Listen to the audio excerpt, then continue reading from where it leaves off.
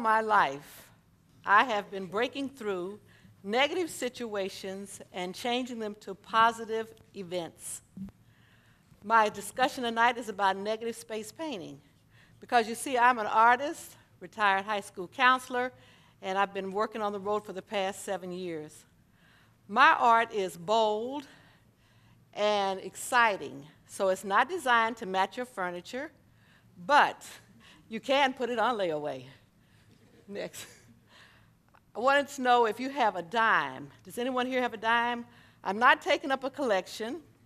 What I'm trying to get you to see is if you have a dime, you have a piece of black artwork done by Dr. Selma Burke from North Carolina. She did uh, President Roosevelt's head in 1945, and she studied in Europe, taught at Harvard University. And then the other famous people are Dr. Martin Luther King, Booker T. Washington, and George Washington Carver. And these are all on coins. So if someone asks you, Do you have any black art, and you have a dime, you have to say yes. Uh, next picture. This is uh, my first painting. It's called Kansas, the Ellis Island for the Black Pioneers. And negative space painting is when you paint the canvas black first, and then you paint in the background, which helps the images pop forward into positive space. So the positive thing about this uh, research for this painting was I didn't know Kansas was the promised land. The negative is a lot of our students don't know this history. So we're starting with the panels. On the end, there's the old man with his head down. That's the past. The next is the young couple and the warrior. That's the future. As we move forward, we can see these are teenagers, not the teenagers we have today. These teenagers, you tell them what to do, and they did it. Next is a family. and you can see the baby is the only one that's actually engaged with the audience. The baby is looking at you, everyone else is looking away. Dad has his hand on the dog's head. This was the ADT system, the alarm system, let you know somebody's coming. Next is grandmother, and she is combing the granddaughter's hair. This is a daily ritual. You always look your best, no matter where you're going, but she also carries the oral history. And on the end, there are two children. Uh, the little girl is carrying a prairie orchid, which grows in this part. They're all going to the promised land. These people are called exodusters. They were led by Pap Singleton uh, to Nicodemus, Kansas, which was founded in 1877. Next. This is called Sleeping on Promised Land. The negative thing about this artwork is this title is that they're sleeping on the ground. But the positive thing is they can own this land. So there were two migrations. One came to Kansas, the next came to Oklahoma. There was uh, 137,000 blacks that went to the state of Oklahoma. They formed 50 all-black towns. And Boley, Oklahoma is one that I've been doing research on for the last 12 years, and it's also my birthplace. Next. Uh, research is um, vital when you're doing this type of art because we want our art to not only attract your attention, but for you to have a story. So, in working on the Black Pioneers, uh, I read books like The Black West by William Katz, uh, Acres of Aspiration, listen to those titles, Journey Toward Hope. But then when I watched my favorite movies, which was um, Gunsmoke, Wagon Train, Rawhide, I very seldom saw black actors until it came to the Daniel Boone show. And in those episodes, a lot of times the black characters had major roles. So I said, oh, I'm a part of history. So I was working with some students at Wichita State University, a TRIO program. And of course, students always get it first. You know, they get it before you do.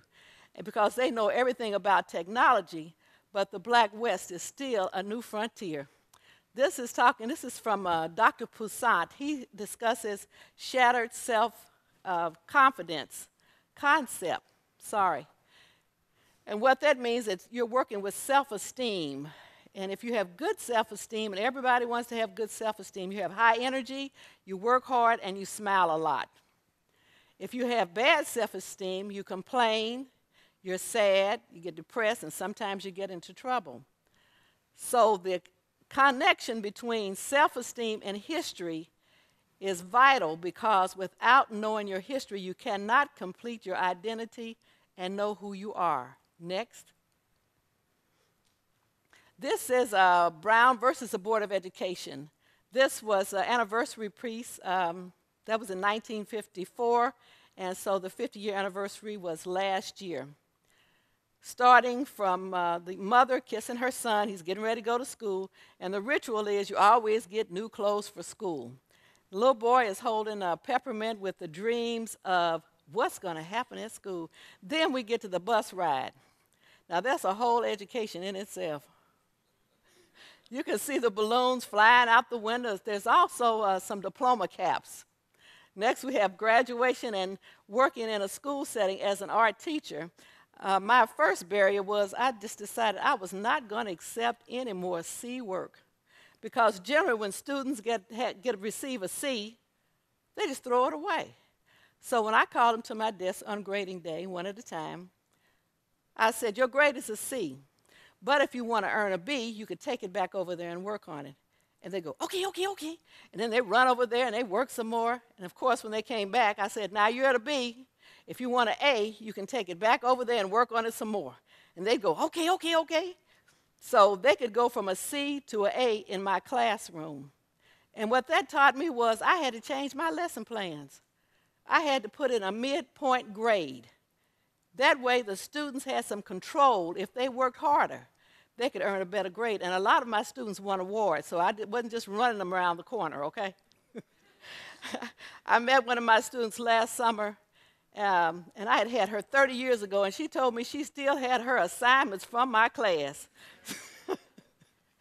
now, with moving from an art teacher to a high school counselor, there's a lot of personalities. And you know, the negative thing about being in high school, you don't know who you are. You think you might be like your friend or your family. You're really confused about it. So there's a test by Myers and Briggs called True Color Test. And those four different colors, golds are the ones that pay their bills on time.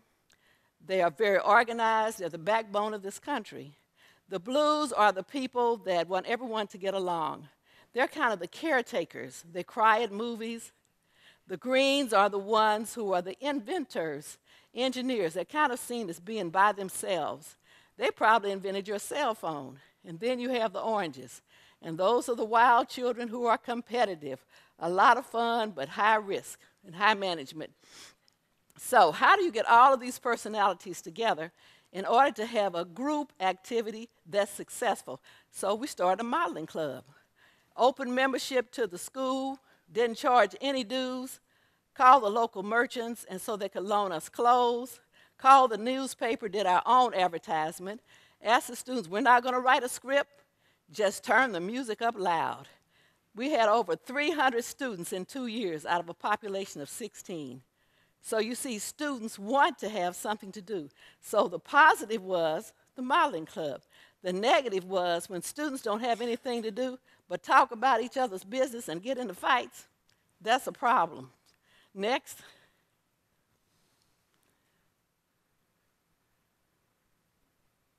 This is called City Girl and Country Boy.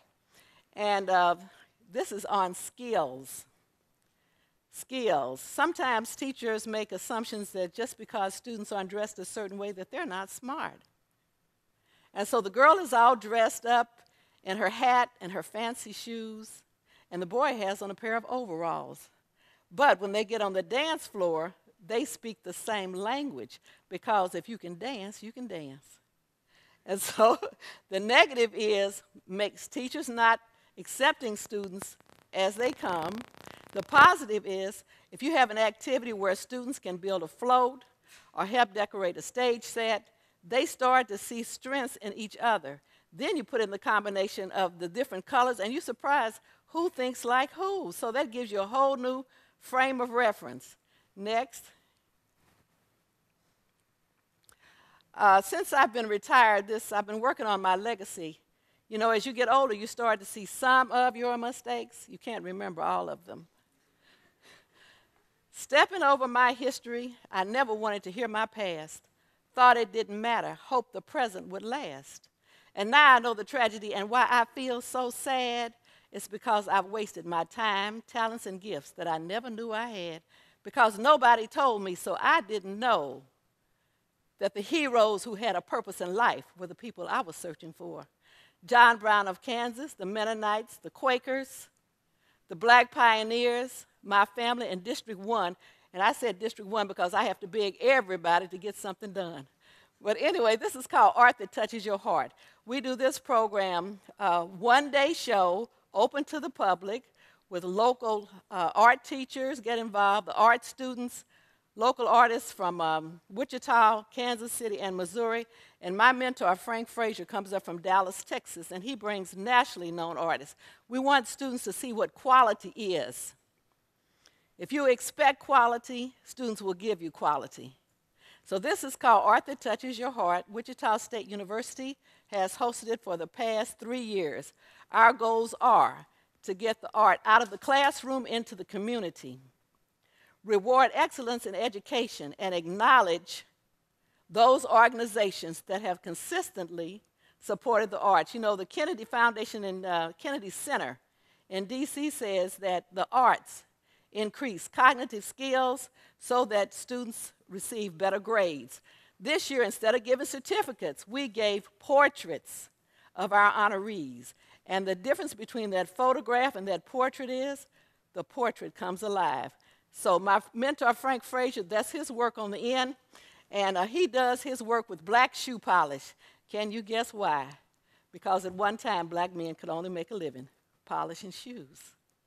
Now we're ready for our singers. The little cousins are coming up. And while they're coming up, we're going to tell you what we do about negative and positive. If we have students in school who are loud, we form a drill team. If we have students who feel like they're not included in the homecoming parade, we built a float. And my best friend said if I charged one more school bus on my credit card, she was going to break my arm.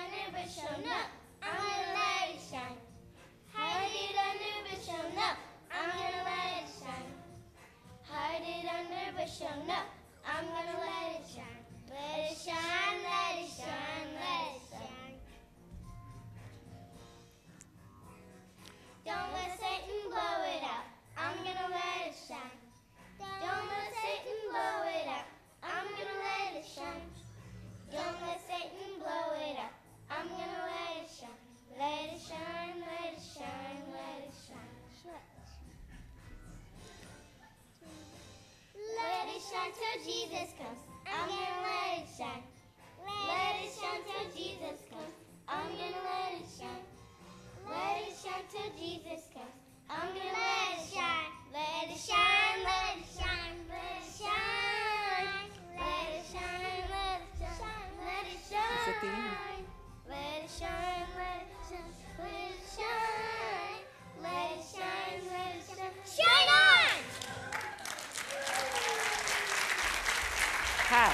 We're going to take a bow.